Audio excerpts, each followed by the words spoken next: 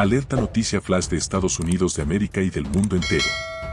Mis amigos esto es muy serio, algunas de las posibles repercusiones y consecuencias futuras para la humanidad en general por la decisión irresponsable del presidente Biden de movilizar y enviar 3.000 reservistas a Europa para contribuir a la defensa del flanco oriental de la OTAN frente a la inestabilidad provocada por la usurpación rusa son Primero, una amenaza para la paz, la seguridad y la justicia internacionales al infringir Rusia la Carta de las Naciones Unidas y el derecho internacional y poner en riesgo la arquitectura de la seguridad global.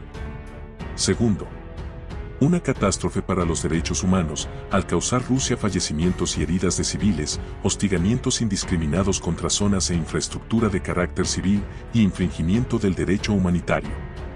Tercero, una crisis humanitaria y de desplazamiento, al generar Rusia una oleada de refugiados que necesitan protección, asistencia y acceso a servicios básicos en otros países. Cuarto. Una crisis alimentaria, al afectar Rusia a la producción y el comercio de granos esenciales para la seguridad alimentaria de millones de personas en el mundo, especialmente en África y los países menos adelantados. Quinto una crisis energética al impactar Rusia en el suministro y el precio del gas natural y el petróleo, que son vitales para el funcionamiento de las economías y las industrias de muchos países. Sexto. Una crisis financiera al provocar Rusia una mayor inflación, una mayor carga de la deuda y una mayor vulnerabilidad económica de los países en desarrollo, que ya estaban sufriendo los efectos de la emergencia sanitaria. Séptimo.